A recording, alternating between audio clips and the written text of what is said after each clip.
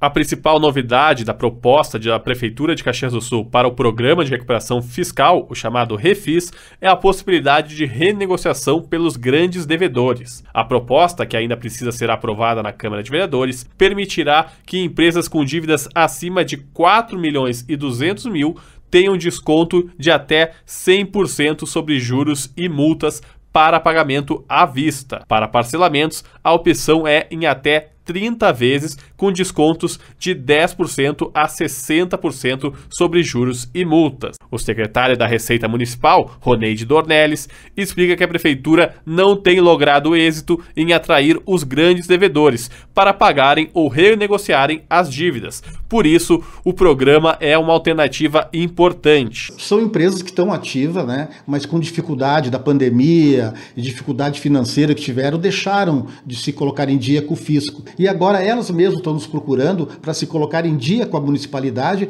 para poder pegar suas certidões, participar de licitações e sim, fomentar o mercado de Caxias, né?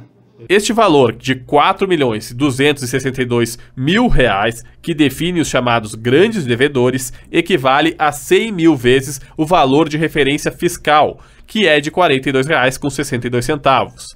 São valores consideráveis e a Prefeitura de Caxias aponta o refis como uma das medidas para suportar a queda abrupta no repasse do ICMS, que acontece devido às alterações legislativas federais que não constavam no planejamento orçamentário dos entes públicos Bom, uh, nós temos em estoque em torno de 953 milhões de reais de dívida ativa, sendo que 625 milhões já estão ajuizados. E a nossa expectativa, comparando com 2021, quando foi o último refis, que nós arrecadamos 60 milhões, a nossa expectativa com a inclusão dos grandes devedores é um aumento de 10 a 20% sobre o valor anterior. No caso de pessoas físicas e jurídicas com débitos inferiores a esses 4 milhões e 200 mil reais, o Refis 2023 propõe parcelamento em até 120 vezes. Olha, das pessoas físicas a gente não tem também um número exato, tá? O, que, o número maior vai ser da, das pessoas jurídicas. As dívidas que eles têm, mais ou menos, é ISS, IPTU e todas as dívidas que eles têm com o município entram na dívida ativa. Mas as pessoas físicas também vão entrar no, no pacote, com certeza, né? E vão ser beneficiadas com os descontos que nós estamos proporcionando com o Refis de 2023.